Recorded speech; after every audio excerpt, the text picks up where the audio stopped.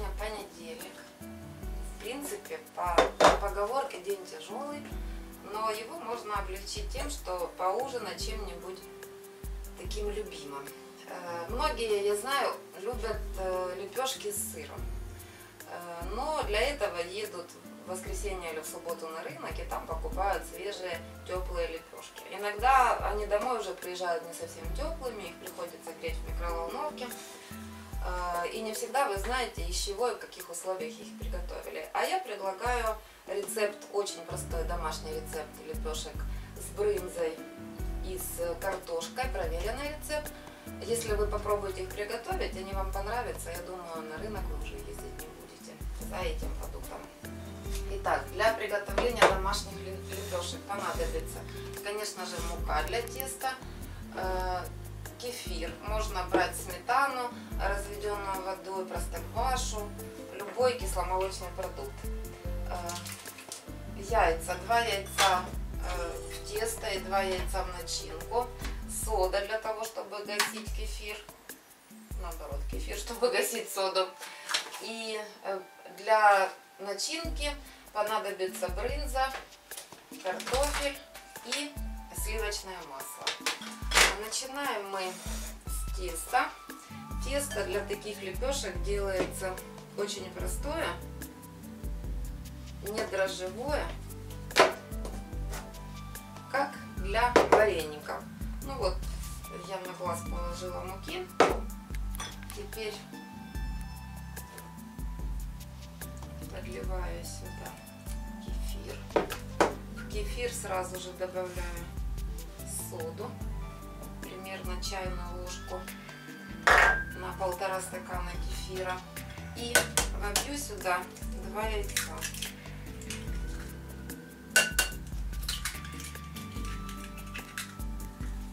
Обязательно посолю.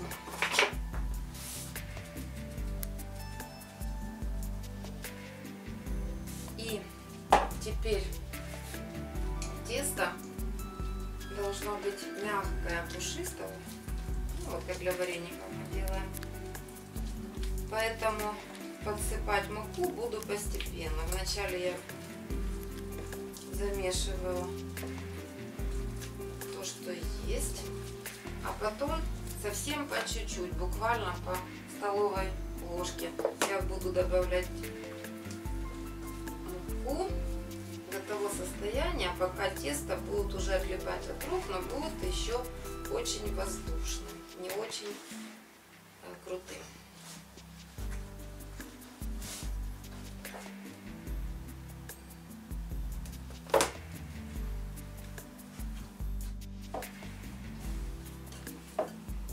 Ну тесто готово.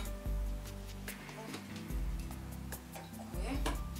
При легко восстанавливается, поднимается вверх, достаточно мягенькое и воздушное. Я не собиралась давать рецепт теста, поэтому я прошу прощения, если кто-то рассчитывал, что я скажу, сколько граммов теста, сколько граммов нужно кефира. Все на глаз, я думаю, все делают дома вареники и примерно уже ориентируются. Я просто хотела поделиться рецептом, как приготовить начинку, ну и собрать э, вот такие лепешки. Поэтому наше тесто пресное, бездрожжевое, сейчас будет э, настаиваться в теплом месте где-то около получаса, чтобы из муки вывелилась клейковина и чтобы потом э, получилось наше изделие. Для этого нужно его накрыть чистой салфеткой и пока отставить в сторону. А я в это время буду готовить начинку. Так, э, теперь приступаем к приготовлению начинки. Э, Начинка состоит из картофельного пюре, поэтому я сейчас почищу картофель и поставлю отваривать. Э, Потом в толченую картошку добавляется сливочное масло, э, два яйца и натертая на мелкой терке брынза. Все это по вкусу, если нужно, солится, потому что брынза достаточно соленая. Чтобы тесто, э, начинка не была пресной, нужно пробовать. Если вам нравится более соленая, можно еще посолить. Э, по желанию туда можно добавлять различную зелень мелко изрубленную. Я тоже это люблю делать, но сегодня, к сожалению, я забыла купить зелень. Поэтому начинка будет без нее, но все равно будет вкусно. Я уже разные способы приготовления. Кстати, кроме брынзы, для этой начинки можно использовать любой сыр. Э, например, очень вкусно получается начинка э, из картофеля, творога и зелени. Или из картофеля, зелени и, допустим, мелко натертого твердого сыра. Сегодня я показываю начинку из картофель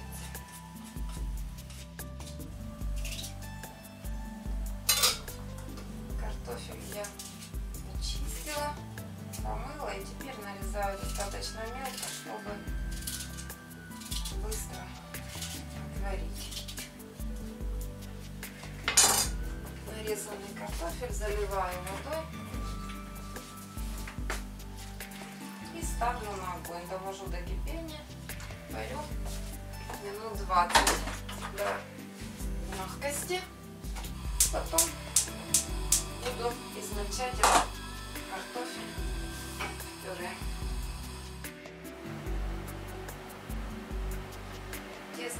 слегка уже подошло. Это, конечно, не дрожжевое тесто.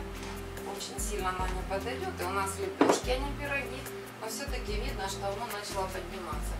А, сейчас я выставлю духовку на температуру 200 градусов и поставлю ее нагреваться, пока буду готовить начинку. Духовка прогреется. И мне нужно обязательно слить воду картофеля.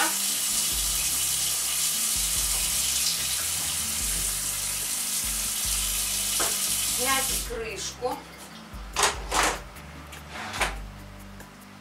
И оставить его остывать минут на 5 для того, чтобы когда я буду давить картошку и добавлять яйца, чтобы яйца не свернулись. Не свернулся белок от очень высокой температуры. Пока картофель будет остывать, я натру брынзу.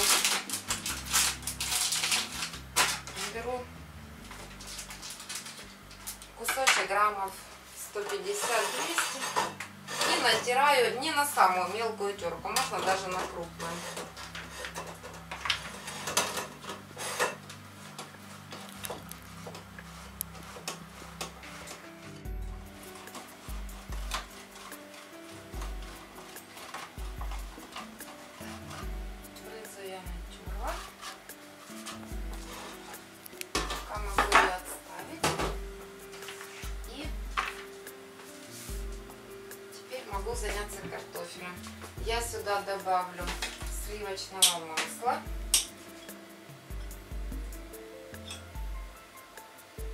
Жалеем. Чем больше будет масла и сыра, тем вкуснее будет начинка. И теперь могу уже давить. Воды я здесь почти не оставляла. Э, то есть э, картофель не должен быть жидким, вот как пюре. Он достаточно такой вот крутой консистенции. Я могу немного посолить. И поскольку я сегодня не добавляю зелени, чтобы придать все-таки какую-то пикантность вкусу, я немножко добавлю горчицы. Французской горчицы зернышками. И продолжаю разминать. Теперь буду по одному вводить яйца и продолжать все это соединять в однородную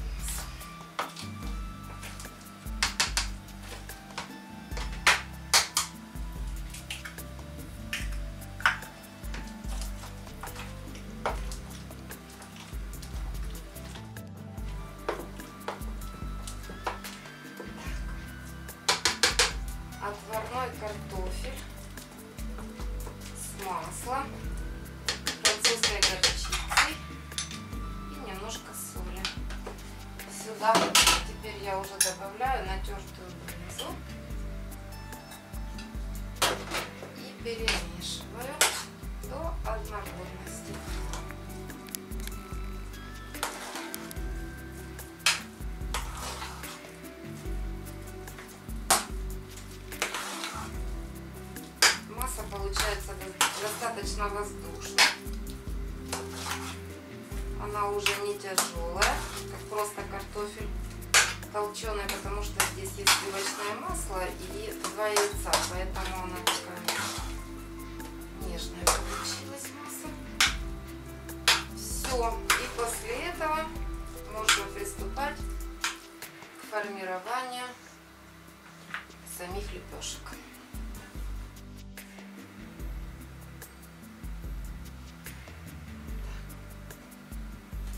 Рабочую поверхность нужно присыпать мукой. Достаем наше тесто.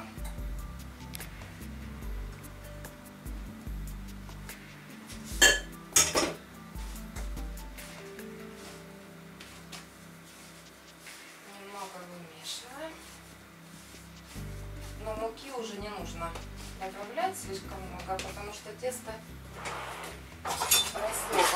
подходило, и лишняя мука ему уже не нужна.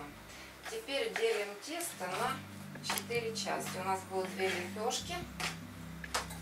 4 части, потому что каждой лепешке нужно, нужна основа и верх.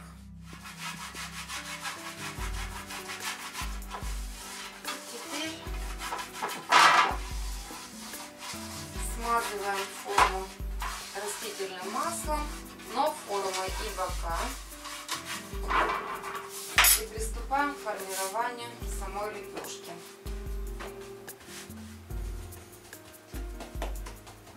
Из того количества теста, которое я сделала, получится две лепешки. Поэтому нужно разделить на 4 части. На каждую лепешку по 2. То есть дно и верхушка. Вот сейчас я буду формировать одну из лепешек я раскатываю тесто примерно по величине формы.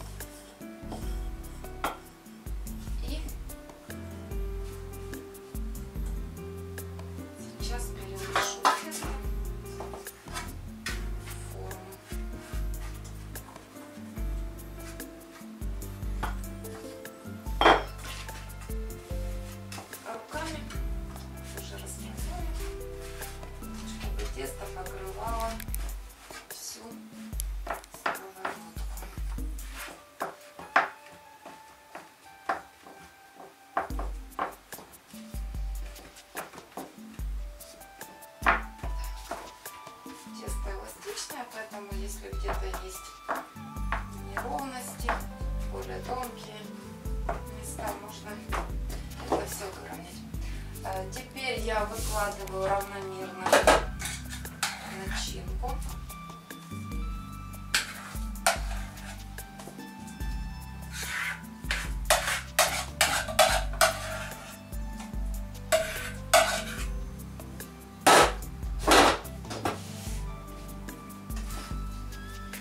Разравниваю так, чтобы не доходило где-то на пол сантиметра, сантиметр до краев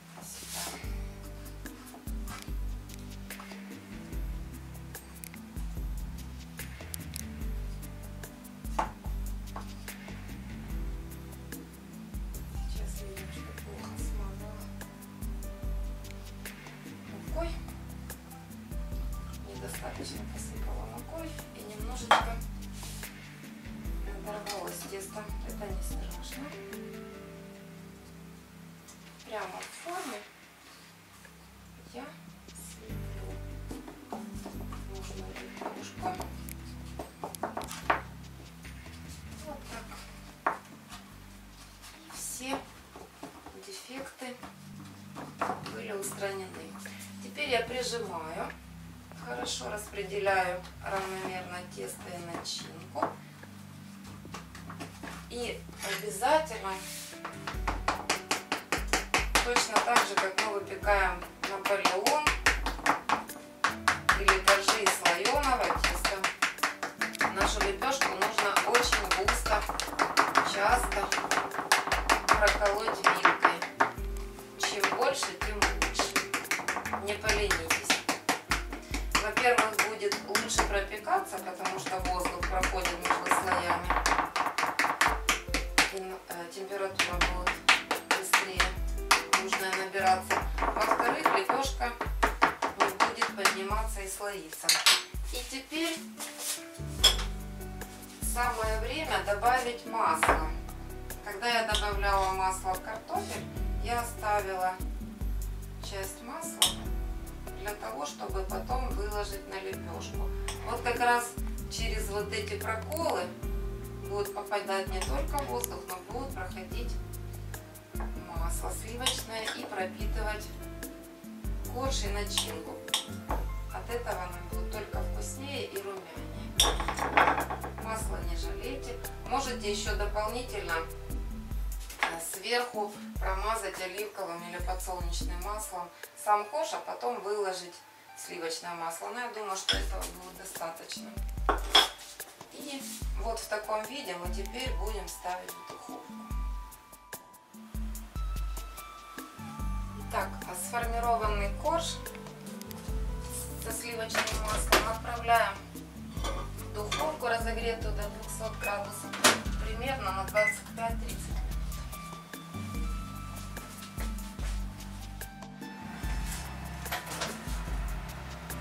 прошло 30 минут. Наша лепешка готова. Сливочное масло блестит очень красиво. такой солнечный цвет у лепешки. А для того, чтобы ее переложить из нашей формы, нам нужно дать ей остыть минут 10-15. Пока что подождем.